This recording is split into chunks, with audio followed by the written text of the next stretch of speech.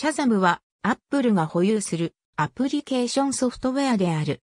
このアプリケーションは機器に装備されているマイクを使い、短時間のサンプル音から音楽、映画、広告、テレビ番組を特定することができる。このソフトウェアには Android 版、MacOS 版、iOS 版、WatchOS 版、Windows 版が存在する。このアプリケーションの最初の開発会社である、シャザムエンターテイメントリミテッドは、1999年にクリス・バートン、フィリップ・アンゲル・ブレイッシュとエイブリー・ワン、リロッジ・ムカージーにより設立された。2018年9月24日に、この会社はアップルに4億ドルで買収された。シャザムは、スペクトログラムと呼ばれる時間周波数グラフに基づいた音響指紋をもとに曲を特定する。演奏されている曲の一部を聞き取るために、スマートフォンやパソコンの組み込みマイクを使う。シャザムは音響指紋のカタログをデータベースとして持っている。使用者がある曲を10秒間聴かせることで、このアプリケーションは音響指紋を作成する。シャザムは取得した音を解析し、数百万曲の音響指紋データベースの中から一致するものを検索することで、その機能を果たす。一致するデータが検出された場合には、アーティスト名、曲名、アルバム名などの情報を使用者に送り返す。iTunes、Apple Music、Spotify、YouTube、Groove Music などのサービスとの関係づけを組み込むアプリもある。The Target Zone of A Song Scanned by Shazam Shazam は音響指紋の取得を妨げるほどの背景雑音がなく、かつデータベースに曲のデータが存在していれば、音源から曲を特定することができる。無償版とともに、シャザムアンコールと呼ばれる優勝版もリリースされた。2012年9月に、米国のテレビ視聴者に対し、SNS 対応とともに、楽曲、出演者情報、番組情報のリンクを検索するサービスが追加された。2014年にアプリの作り直しが行われ、機能が追加された。シャザムは Android、iOS、BlackBerry OS、Windows Phone 上で動作する。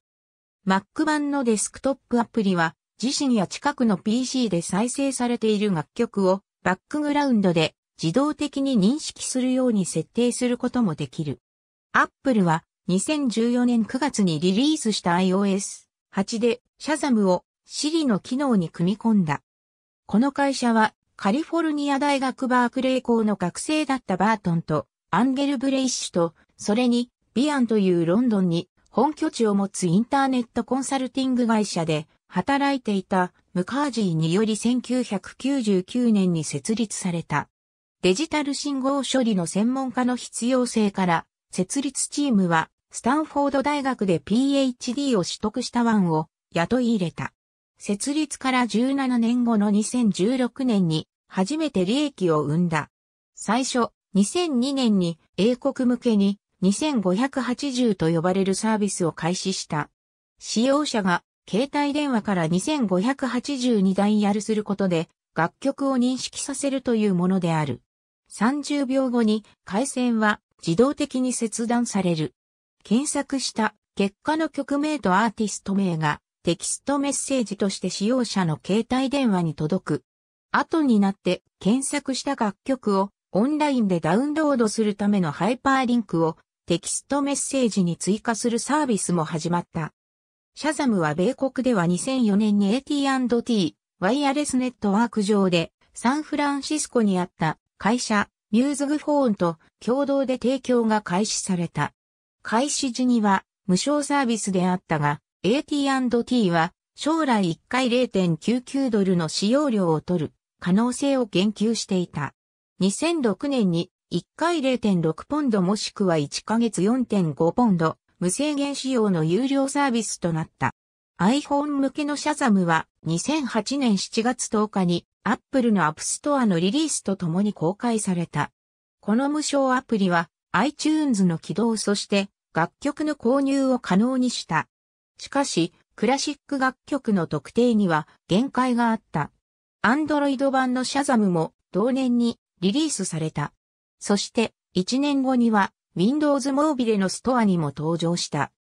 アンコールは2009年11月に iPhone マンとして初めて登場した。2009年12月までにシャザムは150カ国で350の通信業者を介して1000万回ダウンロードされた。およそ8%の使用者がこのサービスにより特定された楽曲を購入した。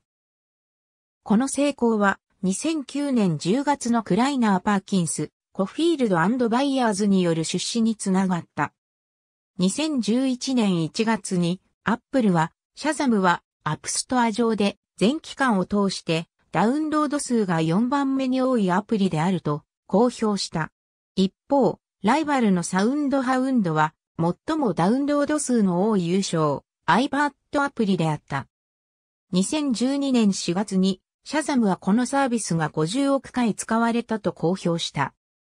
さらに、200カ国に2億2500万人のユーザーがいることも公表した。1ヶ月後には、ユーザー数は2億5000万人以上、1週間に200万人が使うと公表した。シャザムアプリは、現在1ヶ月に1億人以上のアクティブユーザーを持ち、5億台以上の携帯機器で使われている。2014年10月にシャザムの技術は150億曲を検索するのに使われたと発表した。シャザムアプリはテクランドの2013年ベストアンドロイドアプリ50に選ばれた。2014年8月にシャザムは8月7日が最後のアップデートだと告示した。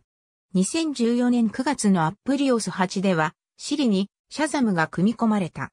2013年2月に音楽配信サービスビトポートとの提携を発表し、同社の電子音楽ライブラリーをサービスに追加した。2013年4月3日に、インドのオンライン音楽ストリーミングサービス会社、ソブンとの排他的業務提携を発表した。この提携により、100万曲近くのインド語の曲が、シャザムのデータベースに追加された。2014年7月に、アーディオとの提携を発表。この提携により、シャザムアプリ内で検索曲全体を聞くことができるようになる。リッチ・ライリーは2013年4月に CEO として会社を成長させるためにシャザムに加わった。彼はそれ以前はヤフーで13年を働いていた。そして彼には17年以上の起業家とインターネット経営者としての経験があった。ライリーは当時以下のように語っている。私はメディアとの連携における我々の優位性を伸ばしてゆくことに期待している。音楽という我々の根源からタブレットやテレビでのサービスの先頭に立ち、シャザムが人々の周りのものを認識し連携させることを助ける会社であることを確信したい。ライリーの専任はアンドリュー・フィッシャーであった。彼は2005年に業界連携強化とユーザーペースの成長のためにインフォースプイスから CEO として加わった。フィッシャーは、現在はエグゼクティブチェアマンである。シャザムは楽曲に加え、テレビ、広告、映画との連携を発表した。2014年5月に、ナショナルシナミディアがリーガル、AMC、シナマークといった映画館で上映される映画の予告編をシャザムに組み込むことを発表した。2014年11月に NCM とシャザムは、米国の2万以上のスクリーンで流される NCM の予告編がシャザムで検索できることを発表した。2014年8月にシャザムはレゾネートを発表した。レゾネートはテレビの視聴者それぞれに興味を持つ広告を送るための販売ツールである。このニュースには AMC、A&、E、ディック、クラークプロダクションズ、ヒューズとの業務提携も含まれていた。シャザムは近年産ブロードキャストグループとの提携を発表した。これは、米国の8000を超える3ブロードキャストのラジオ局のリスナーに対してカスタマイズされたコンテンツを送ることを可能にするという新たなラジオ向けの提供をシャザム上で実施するものである。2016年12月にシャザムはスナップチャルットとの提携を発表した。新しい機能が最新のスナップチャルットの更新版に追加された。それは、スナップチャルットユーザーにシャザムの楽曲認識機能をカメラの画面を押し続けることで使えるようにするというものである。2017年12月にアップルはシャザムを買収すると発表した。2018年4月23日に欧州委員会はこの買収に関して調査中と発表した。欧州委員会は2018年9月6日にこの買収を承認し、同年同月24日に買収は完了した。2012年9月時点で、シャザムは3200万ドルの資金を調達している。2013年7月には、アメリカモビルが4000万ドルを非公開株として、シャザムに出資した。